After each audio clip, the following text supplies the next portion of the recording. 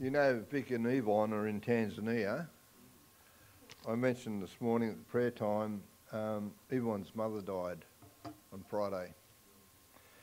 And um, so she's got a big decision to make whether she comes back to Australia or stays over there. So be praying for her. Uh,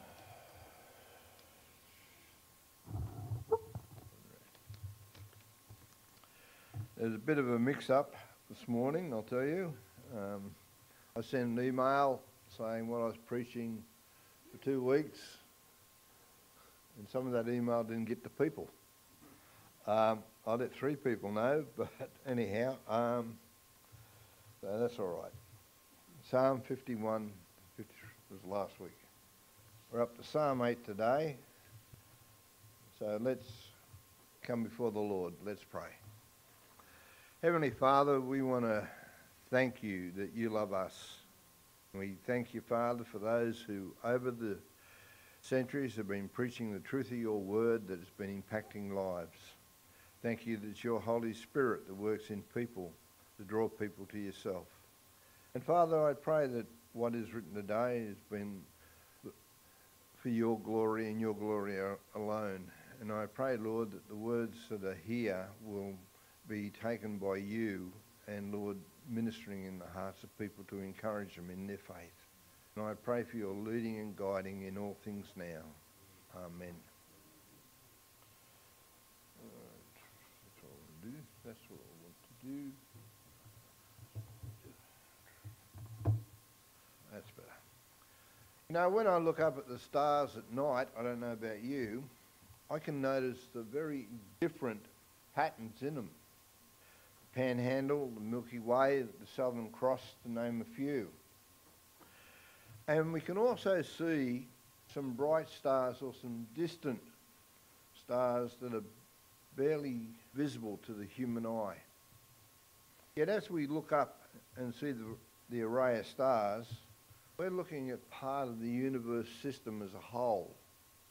You know, exploration has taken it further and further and the system is getting bigger and bigger and bigger. But as I think of the galaxies above us, I'm reminded of David's words in Psalm 8. Today, as we look at the psalm, we're going to look at, it under three headings God's greatness, man's honour, and man's responsibility. God's greatness. We live in a world where majority say to us, if God is real, let him prove it. Show him to us. Well, here in Psalm 8 is part of the answer to how God does speak to us today. Look at verse 3. If you've got your Bible open, follow it through. When I consider the heavens, the work of your fingers, the moon and the stars, which you have set in place. That is the universe above. In fact, everywhere the way it is arranged in precise order. Have you ever considered what would happen if one of the planets went a quarter or a half degree off course? What would happen would be a cosmic mm, disaster explosion. But that will never happen because all is working perfectly according to God's design. He set them all in place so that they will stay there until the day God says no more.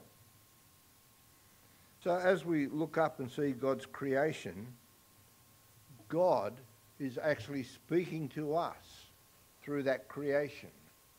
In Psalm 19 it says, The heavens declare the glory of God, the skies proclaim the work of his hands. Day after day they pour forth speech. Night after night they display knowledge. There is no speech or language where their voice is not heard.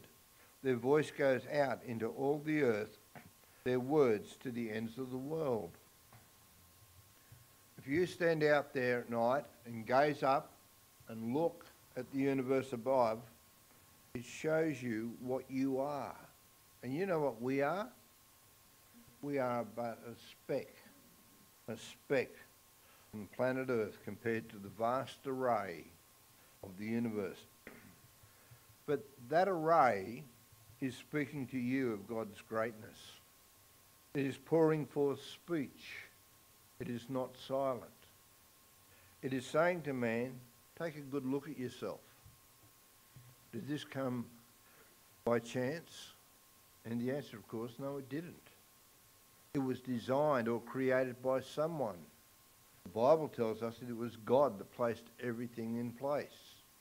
Listen to Psalm 136 and verses 5 to 9, speaking about God, who by his understanding made the heavens, who spread out the earth upon the waters, who made the great lights, the sun to govern by day and the moon and stars to govern the night. Psalm 147 tells us he determines the number of stars and calls them each by name. God knows each star by name. What does man know? Very little. Amos 5.8 says, He who made the Pleiades and Orion, who turns darkness into dawn and darkness day, and darkens day into night, who calls for the waters of the sea and pours them out over the face of the land. The Lord is his name. You know, we're just finding stars out there now. You know, the name of the stars, what they're calling them, is what God's word says. It's interesting. Creation testifies to us of God's eternity and his power. It speaks to us and tells us that by his word all things were created. In him all things are sustained and held together.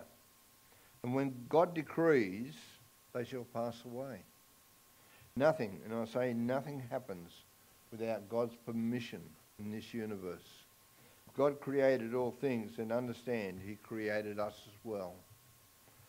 The psalmist in Psalm 139, verse 13 says about God, For you knitted my innermost being, you knit me together in my mother's womb. The point is, God created us individually. We were no accident. We were created for a purpose, and that purpose was to know God and to enjoy Him forever. Have you ever had a good debate with someone over the evolution creation debate? I'd love them. As they talk, as they explain their thoughts or their philosophies, large big holes appear in them so that they can be easily exposed. They'll try to cover up their holes by creating other holes. Sadly, we have people who believe in theistic evolution. God controlled it all. I believe that all ideas of creation outside of God's creation as recorded in Genesis chapter 1 go against God's word. Let me encourage you to look up on a clear night. Think of the great stars and the great galaxy. Your God is saying, I created all this. It didn't happen by chance. Secondly, man's honour. You know, verse 4 raises a question that all people seek an answer to at some stage in their life. What is man? What is man in relation to the universe? What is man when you compare him to the cosmos? And the answer is given to us in verses 5 to 8. You made him a little lower than the heavenly beings. You crowned him with glory and honour. You made him ruler over the works of your hands. You put everything under his feet, all flocks and herds and the beasts of the field the birds of the air and the fish of the sea, all that swim the paths of the sea. And notice two things. In verse 5, we are told that God has crowned man with glory and honour. God has not crowned the animal kingdom, but only mankind. God created mankind in a very special way. He created him after his own image. God gave man a soul, a spirit, that will never die. Yet God made him also pinnacle of his creation. Man was to live in relationship with God and his cr- creation. But sin entered the world and man fell and was cast out of the garden. And since that time, man continued to sin and go further and further away from God. So God responded by coming to man's aid. Jesus came to be the perfect man, one who would fulfill all of God's decrees. He came as the Lamb of God who would take away the sin of the world. He would die on the cross. And through his death and resurrection and ascension, mankind can now be restored back into relationship with God.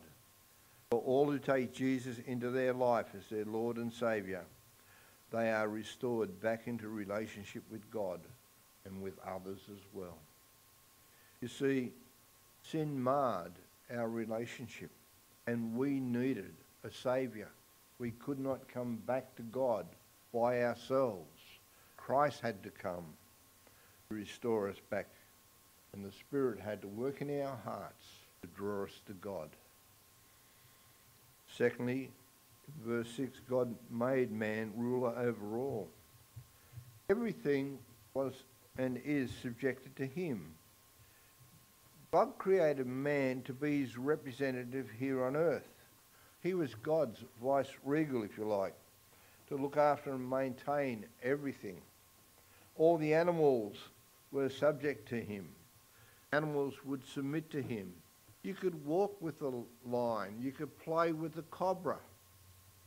The alligator would be your pet as you swam up the river. And so on. But then sin came. And those relationships were broken. All the animals are not subject to man. For some, they think a spider, a mouse, a snake, a lion will create a fear in them. It is part of our former makeup, and it shall be that way until Christ returns and establishes new heaven and new earth. Let me ask you, what do you fear in the animal kingdom?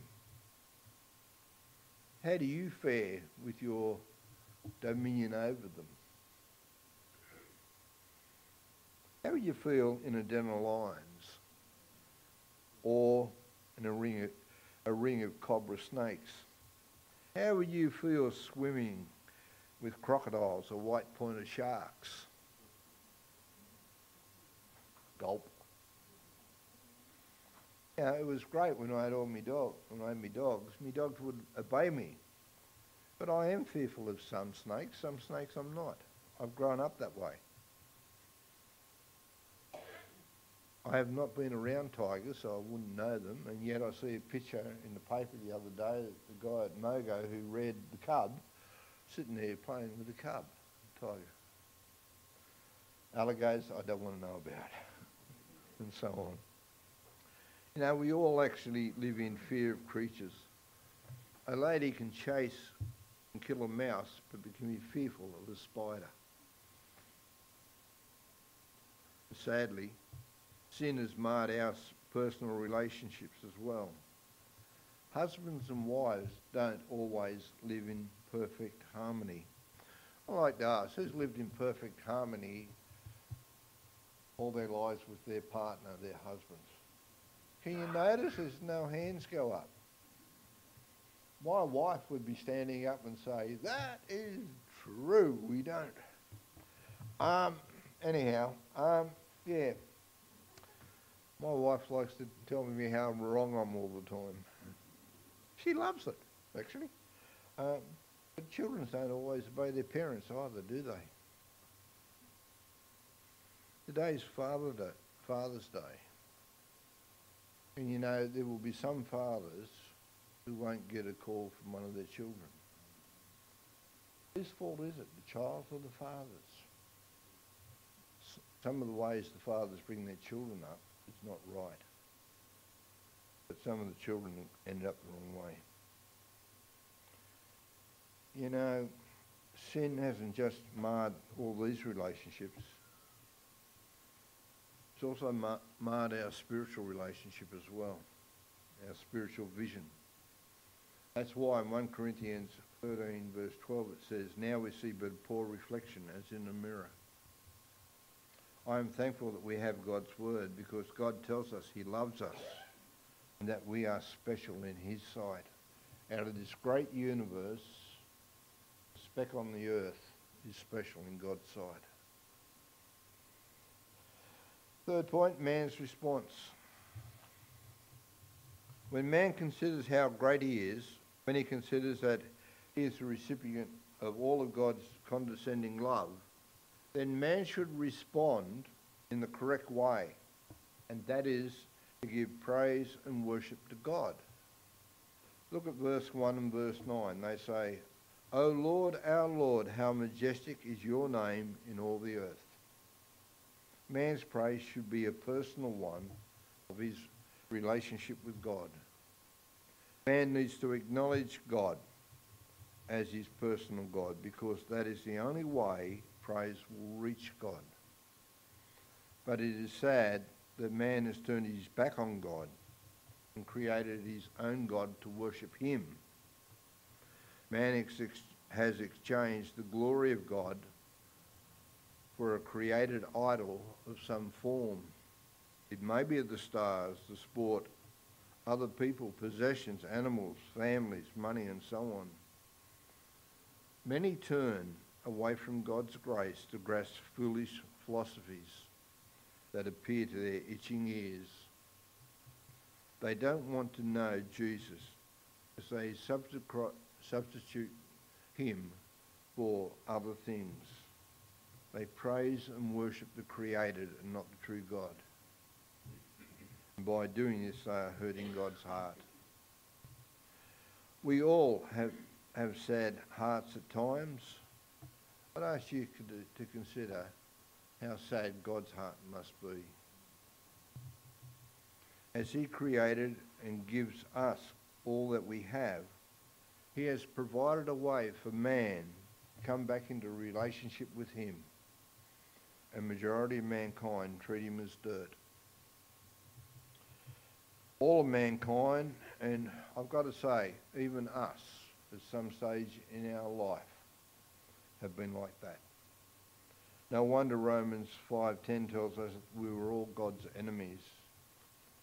Yet God demonstrated his love for us in giving Christ to be our Saviour. Christ came to reconcile man back to God.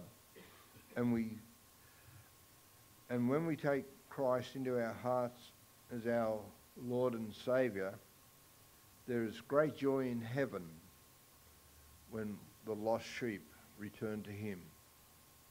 And it's only then our praises will rise as a pleasant aroma into God's presence. I don't know about you, but I know when I go, go past certain shops, there can be a pleasant aroma oh, coming out of them. Nice cooking smells draws people to, to them, don't they? The same goes for our lives, doesn't it? If we love Jesus and we follow God's way and give thanks and praise to him, then a pleasant aroma should go goes out of us to God. But as that goes to God, there's also the point that it flows, his love will then flow out through us, through our lives to other people. And that should attract people towards God through us. Our praise of worship to God should not be Sunday morning at church. It should not be here. I'm sorry, it should not be here. Our praise and worship to God should be 24 hours a day, seven days a week. That's when we should be living to praise God. No matter where we are, what we are doing, we are to shine for Jesus. So I want to encourage and challenge you that as you look up at the stars, think of Psalm 8. Consider who you are and what you are in this creation, then consider how much God loves you and respond to him in the right way. Our response has to come out of our hearts and our mouths. If the stars can tell the, the glory of God as they appear in the sky, then what about us? If we have God's revealed wor- word that tells us of the love of God in Jesus, shouldn't we be witnesses of God's love and grace to others as well? The psalm began and ended with the words of praise to God. May our lives begin and end with thanks and praise to God. Let's pray. Heavenly Father, we thank you that you love us. You first loved us. And we thank you that Christ came to save us. We thank you, Father, the Holy Spirit testified in our heart that we needed a Saviour because we could not come by ourselves. You had to draw us. But we thank you, Father, that as your family, your Spirit is the one who's going to minister to us. Your Spirit is the one who's going to build us up. Father, help us to love you 24-7. Help us, Lord, to be encouraging each other. Help us, Lord, to be out there shining for you. For the glory of Christ we pray. Amen.